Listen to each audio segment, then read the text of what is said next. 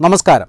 സ്വർണക്കടത്ത് കേസിലെ പ്രധാന പ്രതിയായ ശിവശങ്കർ അതായത് മുഖ്യമന്ത്രിയുടെ മുൻ പ്രിൻസിപ്പൽ സെക്രട്ടറിയായ ശിവശങ്കർ മുതിർന്ന ഐ എ എസ് ഉദ്യോഗസ്ഥനായ ശിവശങ്കറിനെക്കുറിച്ച് ധാരാളം വിവാദങ്ങൾ ഇതിനോടകം തന്നെ വന്നു കഴിഞ്ഞു. സ്വർണക്കടത്ത് കേസിൽ പ്രതിയായിട്ട് പോലും ജാമ്യത്തിൽ ഇറങ്ങിയപ്പോൾ ഒട്ടും താമസിയാതെ തന്നെ സർവീസിലേക്ക് ശിവശങ്കർ തിരിച്ചു വരുന്നു. അതിനുശേഷം സുപ്രധാനമായ സ്ഥാനമാനങ്ങൾ ഇപ്പോഴും സർവീസിൽ സർവീസിലിരുന്നു കൊണ്ട് തന്നെ സുപ്രധാനമായ സ്ഥാനത്തേക്ക് ഇരിക്കുന്ന ഒരു വ്യക്തിയാണ് ശിവശങ്കർ. മുഖ്യമന്ത്രിയോട് ഏറ്റവും അടുപ്പമുള്ള ഉദ്യോഗസ്ഥൻ എന്നാണ് സ്വർണക്കടത്ത് ആദ്യഘട്ടത്തിൽ വിവാദമായപ്പോഴെല്ലാം ചർച്ചയായത്. അതായത് ഈ ശിവശങ്കറാണ് മുഖ്യമന്ത്രിക്ക് വേണ്ടി എല്ലാ കാര്യങ്ങളും നോക്കി നടത്തിയിരുന്നത്.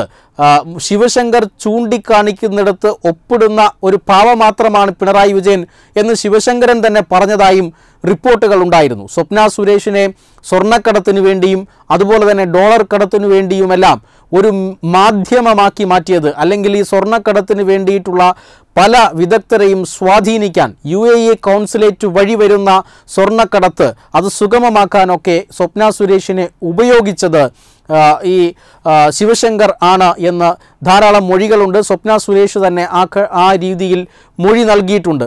അതുമാത്രമല്ല ഡിപ്ലോമാറ്റിക് ചാനലിലൂടെ വരുന്ന സ്വർണക്കടത്ത് ബാഗുകൾ എത്രയും വേഗം ക്ലിയർ ചെയ്ത് കിട്ടാനായി മുഖ്യമന്ത്രിയുടെ ഓഫീസിൽ നിന്നും ഇടപെട്ട ഉദ്യോഗസ്ഥനും ശിവശങ്കറാണ് എന്ന രീതിയിൽ ആദ്യ ഘട്ടത്തിൽ തന്നെ ആരോപണങ്ങൾ വന്നതാണ്. അദ്ദേഹം തുടർന്ന് സസ്പെൻഡ് ചെയ്തിരുന്നു സർവീസിൽ നിന്നും. പക്ഷേ ജാമ്യത്തിലിറങ്ങിയതിന് ശേഷം ആ സസ്പെൻഷൻ പിൻവലിച്ച് മുഖ്യമന്ത്രി പിണറായി വിജയൻ തന്നെ തിരിച്ചെത്തിയതിന് ശേഷം അതായത് തുടർഭരണം നേടി തിരിച്ചെത്തിയതിന് ശേഷം ശിവശങ്കറിനെ തിരിച്ചെടുക്കുന്നതും എല്ലാം നമ്മൾ കണ്ടതാണ്. അതിനുശേഷം സ്വപ്നയുടെ ഗുരുതരമായ പല വെളിപ്പെടുത്തലുകളും വന്നു. ഏറ്റവും ഒടുവിലായി വരുന്നത് സ്വപ്നയുടെ ആത്മകഥയാണ്. സ്വപ്ന സുരേഷിന്റെ ആത്മകഥയിൽ ഈ ശിവശങ്കരൻ തന്നെ കല്യാണം കഴിച്ചിരുന്നതായും ചെന്നൈയിലെ പത്മനാഭസ്വാമി ക്ഷേത്രത്തിൽ വെച്ച് തന്നെ വിവാഹം കഴിച്ചിരുന്നു ശിവശങ്കറിന്റെ പാർവതിയാണ് താൻ പാർവതിയായിരുന്നു താൻ എന്ന് അദ്ദേഹം എന്ന് സ്വപ്ന സുരേഷ് ഈ പുസ്തകത്തിലൂടെ വെളിപ്പെടുത്തുന്നു. യെസ് പാർവതി എന്ന് മുദ്രകുത്തിയ കയ്യിൽ പച്ച കുത്തിയതിന്റെ ചിത്രങ്ങളും സ്വപ്ന സുരേഷും അതുപോലെ തന്നെ ശിവശങ്കറും തമ്മിലുള്ള വളരെ സ്വകാര്യമായ ചിത്രങ്ങൾ വരെ ഈ പുസ്തകത്തിലുണ്ട്. പക്ഷേ അങ്ങനെ ഒരു വിവാഹം ശിവശങ്കർ കഴിച്ചിട്ടുണ്ട് എങ്കിൽ ഏറ്റവും പ്രധാനമായ ചോദ്യം അടുത്തത് വരികയാണ്. കാരണം സർവീസ് നിയമങ്ങൾ അനുസരിച്ച് സർവീസിലിരിക്കെ ഒരു വ്യക്തിക്ക് അയാളുടെ പങ്കാളി ജീവിത പങ്കാളി ജീവിച്ചിരിക്കുന്ന അവസ്ഥയിൽ മറ്റൊരു വിവാഹം കഴിക്കാൻ അനുവാദമില്ല. അങ്ങനെ വിവാഹം കഴിക്കുകയാണെങ്കിൽ നടപടികൾ നേരിട്ടേ മതിയാകൂ എന്ന് സർവീസ് ചട്ടത്തിലുണ്ട്. പക്ഷേ മുഖ്യമന്ത്രി പിണറായി വിജയൻ ഇപ്പോഴും അധികാരത്തിൽ തുടരുകയും സർവീസിൽ തുടരുകയും ചെയ്യുന്ന സർവീസിൽ ശിവശങ്കരൻ തുടരുകയും ചെയ്യുന്ന ഒരു സാഹചര്യത്തിലാണ് സ്വപ്ന സുരേഷിന്റെ ഏറ്റവും പുതിയ വെളിപ്പെടുത്തലുകൾ വരുന്നത്. ചിത്രങ്ങൾ സഹിതമാണ് ഇത്തരത്തിലുള്ള വെളിപ്പെടുത്തലുകൾ വരുന്നത്. എന്തായാലും ഇത് രണ്ടാമതൊരു സസ്പെൻഷനിലേക്ക് നയിക്കുമോ? കാരണം നിയമപരമായി സ്വപ്ന സുരേഷ് വിവാഹം സംബന്ധിച്ച രേഖകൾ ഹാജരാക്കിയാൽ തീർച്ചയായും ശിവശങ്കരന്റെ പണി വീണ്ടും തെറിക്കുമെന്ന കാര്യത്തിൽ സംശയമില്ല. കാരണം നിയമപരമായി അത് തെറ്റാണ്. പക്ഷേ സ്വപ്ന സുരേഷ് ഇതുവരെ ഏതെങ്കിലും തരത്തിലുള്ള രേഖകൾ അല്ലെങ്കിൽ ഏതെങ്കിലും തരത്തിലുള്ള പരാതികൾ ഇതുവരെ ശിവശങ്കറിന് എതിരെ നൽകിയിട്ടുണ്ടോ എന്നറിയില്ല. പക്ഷേ എന്തായാലും ഈ ആത്മകഥാ പുസ്തകം പുറത്തിറങ്ങിയ സ്ഥിതിക്ക് പൊതു പൊതുസമൂഹത്തിലാകെ ശിവശങ്കരനും സ്വപ്ന സുരേഷും തമ്മിൽ നടന്ന ഈ വിവാഹം ചർച്ചയാവുകയാണ്. അതുകൊണ്ട് തന്നെ ഈ വിവാഹത്തെക്കുറിച്ച് അന്വേഷിക്കേണ്ട ബാധ്യത സർക്കാരിനുണ്ട്. സർക്കാരിൽ വലിയ സ്വാധീനമുള്ള ഒരു ഉദ്യോഗസ്ഥനാണ് ശിവശങ്കർ. അത് സ്വപ്ന സുരേഷ് നേരത്തെ തന്നെ പറഞ്ഞിട്ടുണ്ട്. സ്വപ്ന സുരേഷിന്റെ പുസ്തകത്തിലും അത് സംബന്ധിക്കുന്ന നിരവധി സൂചനകളുണ്ട്. ഈ കോടിക്കണക്കിന് രൂപ മുഖ്യമന്ത്രിയുടെ മകൾ സമ്പാദിച്ചത് ഇവിടുത്തെ ആരോഗ്യ വകുപ്പിന്റെ ഡാറ്റ അമേരിക്കൻ കമ്പനിക്ക് വിറ്റിട്ടാണ് എന്നൊരു ഗുരുതരമായ ആരോപണം സ്വപ്ന സുരേഷ് തന്റെ പുസ്തകത്തിൽ പറയുന്നുണ്ട്.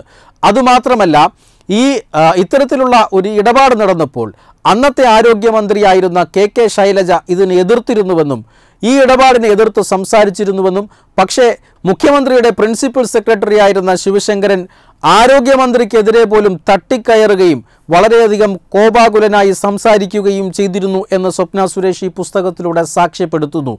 പക്ഷേ ഏറ്റവും പ്രധാനപ്പെട്ട ചോദ്യം ഇനിയെങ്കിലും അന്വേഷണത്തിന്റെ പരിധിയിൽപ്പെടുത്തിക്കൊണ്ട് അല്ലെങ്കിൽ അന്വേഷണ നടത്തുന്നതിന് വേണ്ടി ഈ ശിവശങ്കരനെ സർവീസിൽ നിന്നും സസ്പെൻഡ് ചെയ്യാൻ സർവീസിൽ നിന്നും മാറ്റി നിർത്താൻ മുഖ്യമന്ത്രി തയ്യാറാകുമോ എന്നാണ്. കാരണം സർവീസ് നിയമങ്ങളുടെ നഗ്നമായ ലംഘനം നടന്നിരിക്കുന്നു എന്നൊരു ആരോപണമുണ്ട് ആ ആരോപണം ആരോപണം ഉന്നയിക്കുന്ന വ്യക്തി തന്നെ ഈ ശിവശങ്കരൻ സർവീസിലിരിക്കെ തന്റെ ജീവിത പങ്കാളി ജീവിച്ചിരിക്കെ നിയമവിരുദ്ധമായി വിവാഹം കഴിച്ചു തന്നെ വിവാഹം കഴിച്ചു എന്നവർ തന്നെ നേരിട്ട് വന്നു പറയുമ്പോൾ ഇത് സംബന്ധിക്കുന്ന അന്വേഷണം നടത്താൻ മുഖ്യമന്ത്രി ബാധ്യസ്ഥനാണ്.